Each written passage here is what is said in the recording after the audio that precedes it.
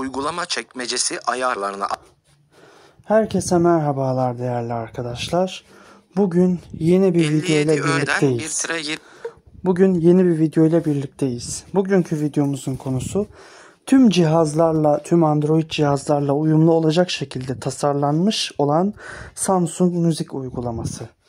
Biliyorsunuz ki Samsung uygulamalarının çoğu Samsung'dan başka telefona veya tablete veya Android bir bilgisayara yüklenmiyor. Ee, bazı Samsung uygulamaları bu konuda esneklik sağlasa da çoğu Samsung uygulaması kendi marka ve modelinden başka cihaza yüklenmiyor maalesef. Samsung Müzik uygulaması da bunlardan biri. Ee, tıpkı Samsung Metin'den konuşmaya motorunun normal şartlar altında Samsung marka cihazlardan başka hiçbir cihaza yüklenmeyeceği gibi. Ee, bir geliştirici Samsung müzik uygulamasının artık kaynak kodunu mu çözdü ne yaptıysa ee, Samsung müzik programını tüm cihazlarla uyumlu olacak şekilde yeniden tasarlayıp ee, bir GitHub sayfasında yayınlamış. Ee, tabii ki hala bazı özelliklerini kullanamıyoruz. Aslında bazı özellikleri derken sadece tek bir özelliğini kullanamıyoruz. O da e, equalizer düzenleme özelliği. Orası e, Samsung cihazlara ait bir özellik olduğu için orası Samsung cihazların equalizer'ını düzenleyebildiği için farklı cihazlara bu uygulamayı kurduğumuzda e, equalizer üzerinde hiçbir değişiklik yapamıyoruz. Hiçbir şeyi düzenlememize izin vermiyor. Ama bu da zaten çok sorun olmayacaktır. En azından benim için sorun değil. Sizler için de çok büyük bir problem olacağını sanmıyorum. Hemen ee, modifiye edilmiş Samsung Müzik uygulamasına bakalım. Bu arada ben bu programın indirme adresini ee, bu videonun açıklamalar kısmına bıraktım. Bu videonun açıklamalar kısmına girdiğinizde bu sözünü ettiğim modifiye edilmiş olan Samsung Müzik uygulamasını oradan indirebilirsiniz. Snapchat Sım Ses kart Saat Robovok Play Store Piper ne Piper ne Piper Page Bir tane uygulama satın aldım. Ee, nedir onun adı? Hmm, Black Player evet Black Player olması lazım. Black Player diye bir uygulama satın aldım. Param da boşuna gitti anasını satayım. Bir baktım uygulamanın erişilebilirliği yok. Yani hiçbir menüye erişmeye izin vermiyor.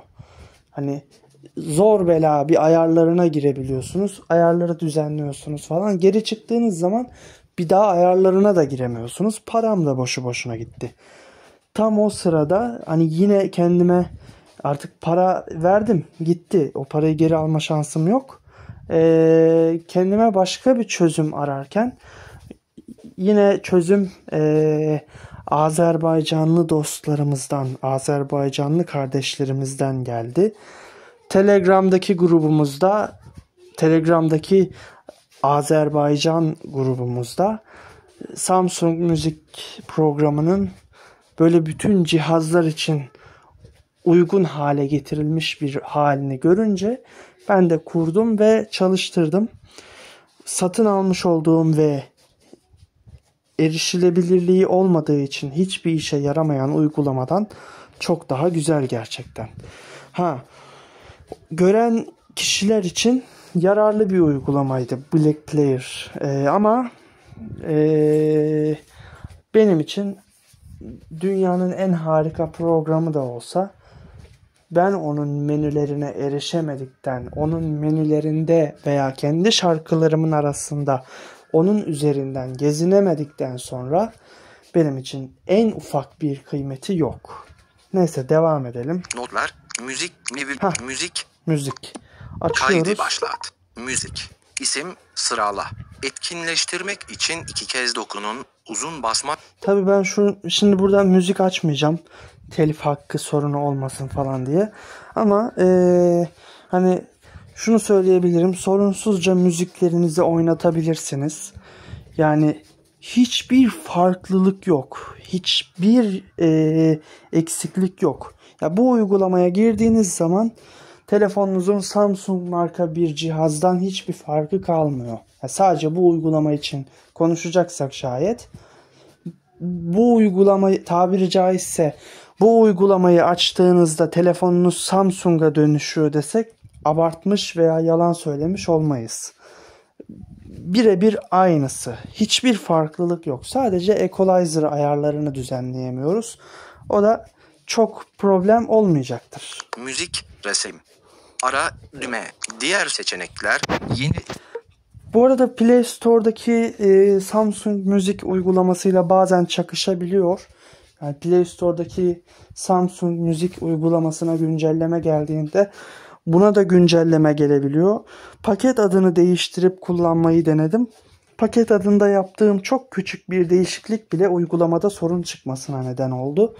E, uygulamayı paket adını değiştirip yükledikten sonra açtım ve açtığımda uygulamanın sahte sürümünü kullanıyorsunuz. Lütfen GitHub sayfasından orijinal sürümünü indirin benzeri bir şey söyledi ve beni uygulamanın GitHub sayfasına geri yönlendirdi. Dolayısıyla sizler de eee, paket adını değiştirmeden kullanmak durumundasınız. Sorun çıkartıyor çünkü. pop-up pencere üstte, kaydı başlat altta. Etki, ses kal düzenle. Ses kalitesi ve efektler. İşte bahsettiğim yer burası. Bu equalizer ayarı dediğim yer burası. Bakalım girelim mesela buraya. Equalizer.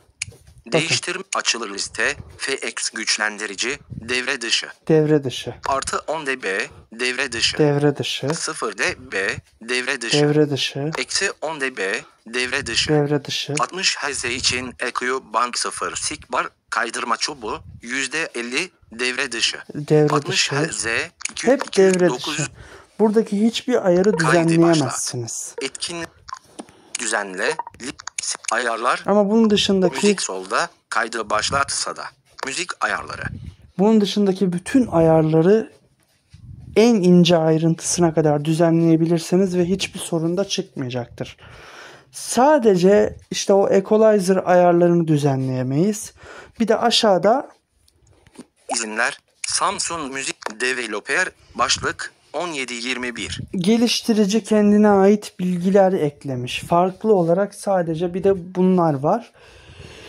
Onun haricinde Ana say eee, hiçbir farklılık yok. Bakalım ayarlarına. uyku zamanlayıcısı kapalı oynatma hızı oynatma hızı 1,0x parçalar arasında cepereze sönülme yap kapalı parçalar parçalar arasındaki ses seze kısımları atla anahtar parça listeleri sıra ayarları tüm parçaları oynat yenilenen şarkılara izin verme anahtar çalma listelerini yönet genel baş sekmeleri yönet Karanlık modu harici cihazların anahtar. Karanlık Bu karanlık modunu da istediğiniz şekilde düzenleyebiliyorsunuz. Hiçbir problem yok. Düzenleyemediğiniz tek yer oradaki equalizer ayarları ki o da Samsung'un equalizer ayarlarını düzenlediği için bu müzik çaların bu Samsung müzik uygulamasının kendine ait bir equalizer seçeneği olmadığı için ve bizim de cihazımız Samsung olmadığı için orayı düzenleyemiyoruz. Bir de farklı olarak en aşağıda demin gösterdiğim üzere bunu uyarlayan geliştirici kendine özgü, kendisiyle iletişim kurmamızı sağlayacak fonksiyonlar eklemiş oraya. O kadar. harici cihazların oynatmasına iz- anahtar, gizlilik, izinler, Samsung Müzik hakkında developer başlık 1721. Bu şekilde arkadaşlar. Bunun haricinde eee, Müz ana sayfa, genel olarak uygulamanın menülerine bakalım. parça liste, favoriler, Burada Spotify sekmesi vardı. Onu ben devre dışı bıraktım. Siz kurduğunuzda sizde etkin olarak gelecektir. Spotify kullanmak istemediğim, sevmediğim için çünkü sevmiyorum Spotify'yi. e, oradaki sekmenin görünmesini engelledim ama hani şey diyebilirsiniz hani hiçbir farklılık yoktu. Ben orada senin videonda Spotify sekmesini göremedim diyeceksiniz. Yok onu ben devre dışı bıraktım. Normalde var. Ben Spotify hizmetini sevmediğim için onun burada görünmesini engelledim. Yoksa siz ilk kurduğunuzda sizde açık şekilde gelecek. Buradaki sekmelerde böyle geri doğru kaydırırken göreceksinizdir Spotify sekmesini. Devam edelim. Par favoriler, sekme 1.6. Favoriler, Parça listeleri, Parça sekme, listeleri, parçalar, parçalar, sekme, sanatçılar, sanatçılar, sek- albümler, albümler, tarzlar, tarzlar. Bir de besteciler kısmı olacaktı. Ben onu işaretlemeyi unutmuşum galiba. Sorun değil. Yaparım, işaretlerim. Burayı, buraları ben kendime göre kişiselleştirdiğim için burası. alt- sanatçılar, Ee, parçalar, sekme 3.6. buraları ben kendime göre kişiselleştirdiğim için buralar böyle görünüyor. Yoksa eee, sırf hani modifiye edilmiş bir uygulama olduğu için değil. Siz de uygulamayı indirdiğinizde istediğiniz kadar düzenlemeyi istediğiniz şekilde yapabilirsiniz. Kaydı başlat. Müzik temizlendi. Son kullanılanlar kapatıldı. Evet, bugünkü içeriğimiz de bu kadardı arkadaşlar. Her şeyin gönlünüzce olmasını dilerim.